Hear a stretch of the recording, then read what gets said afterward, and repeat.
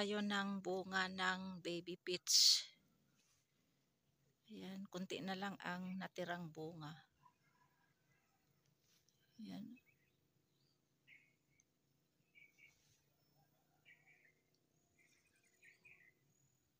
Paano kaya, ano ito, yugyugin natin? Paano kaya yugyugin?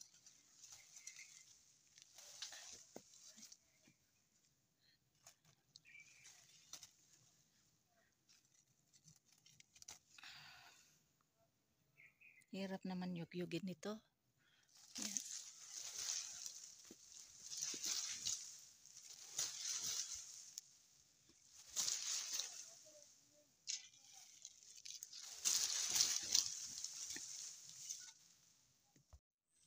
Ayan, ito oh. Kunin ko ito lahat.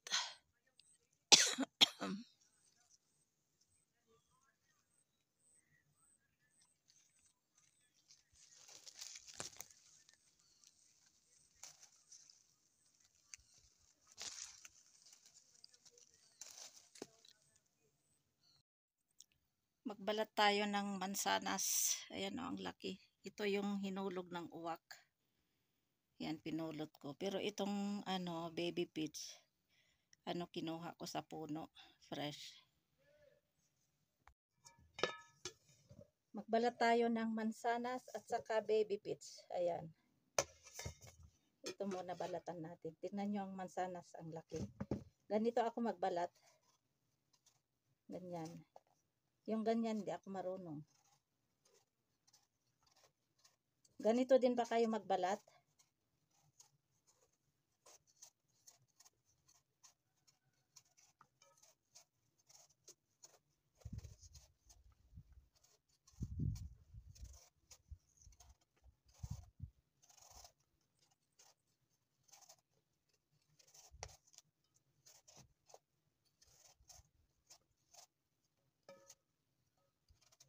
Tikman natin. Ang mansanas. Bismillah, wala barakatillah.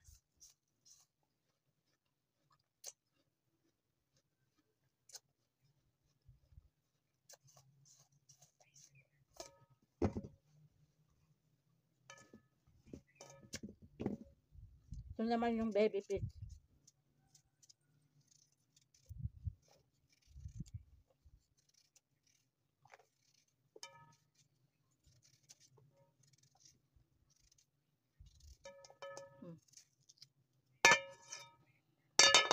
Tikman natin.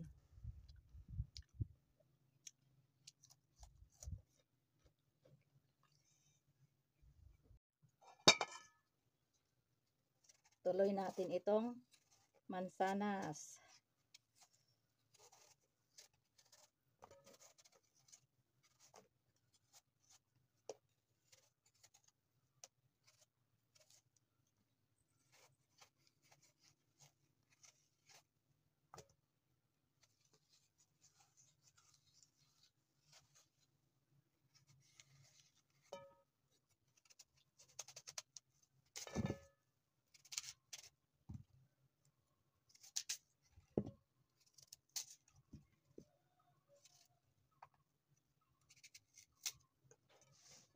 Dito natin ilagay. Ayan. Parang mangga.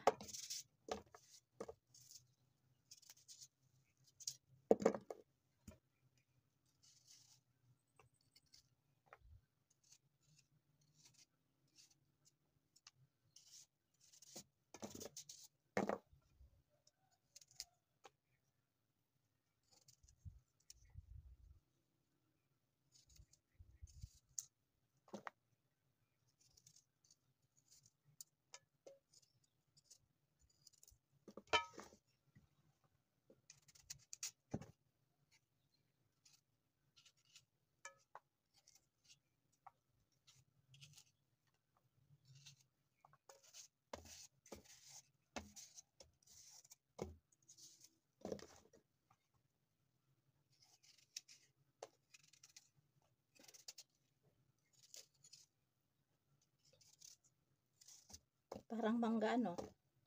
Ilaw na mangga, green mango.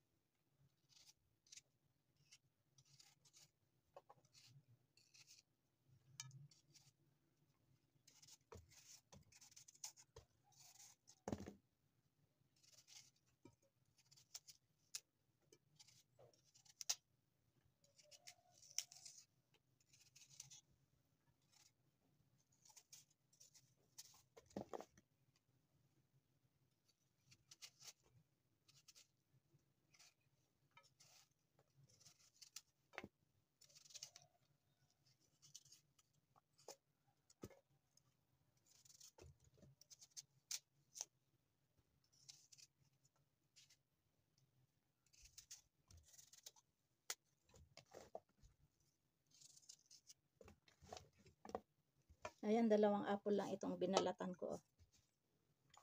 Itong ano naman isunod ko, itong baby peach.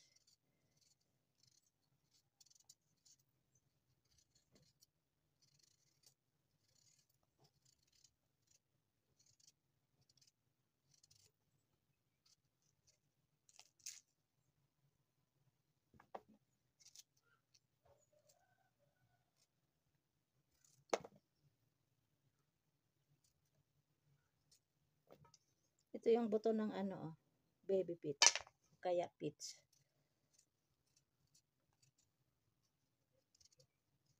Ang tawag dito, dito sa village namin ay arwara, arwari.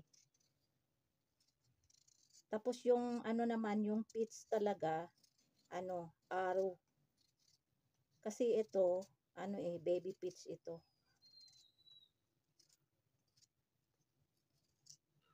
Ito yung baby peach na common dito sa some villages dito sa ano sa Kashmir lalo dito sa lugar ko raw Lakot.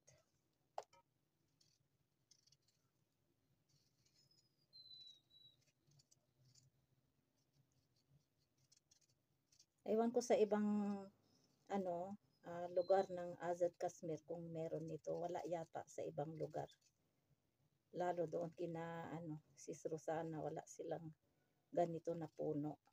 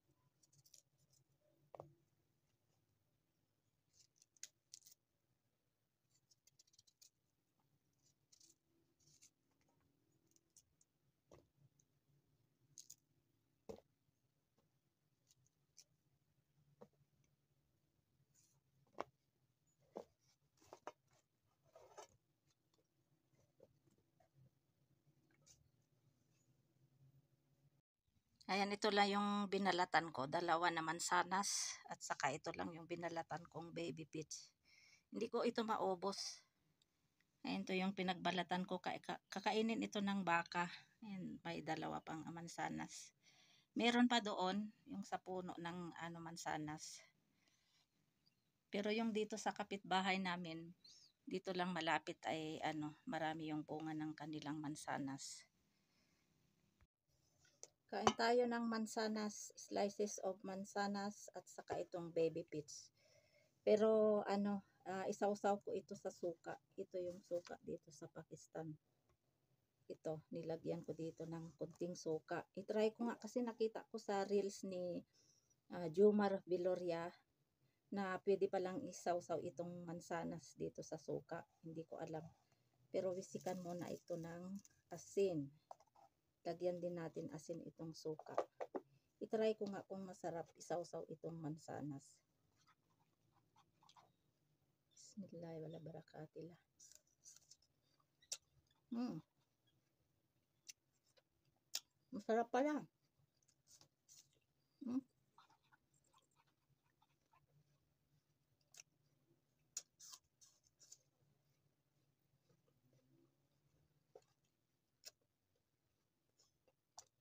Ito naman yung baby peach.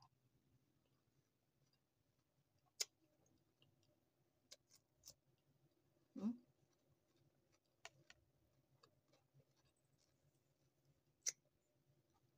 Masarap pala isaw-saw sa suka.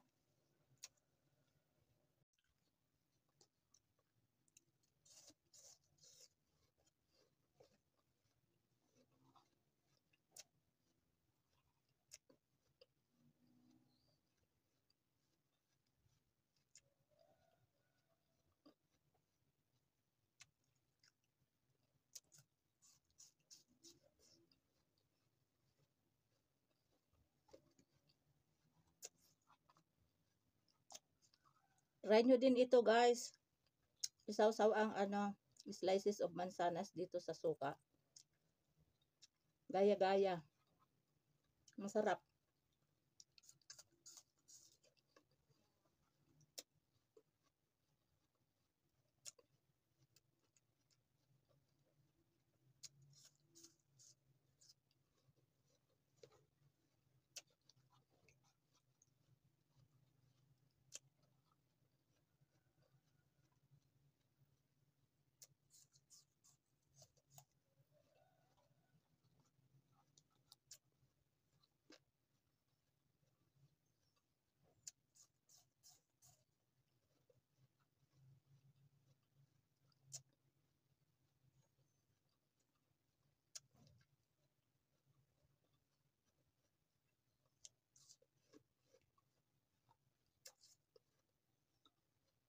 Baby pits.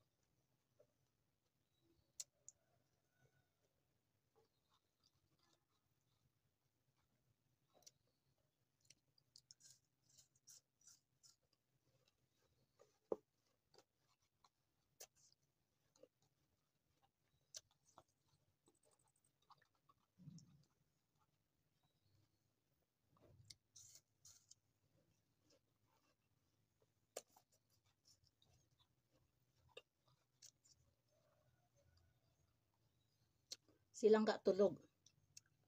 Si Fatma pumunta ng school. Sila kay naman nandun sa baba. Nagbubungkal siya ng lupa para taniman uli ng G1 garlics continuation. Si Fahad naman tulog pa din.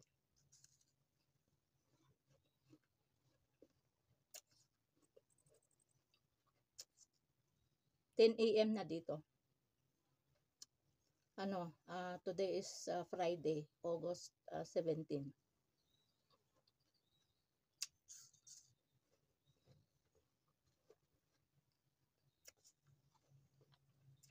Morning snack ko ito. Pagkatapos ko nito, magluluto na ako ng ano, ulam for lunch. Organic na gulay, mga dahon-dahon.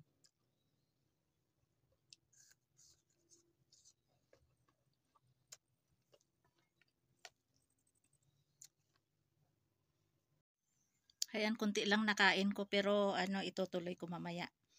Hindi man ito masisira kasi kakainin din ito ni Fatma pagdating. Ayan.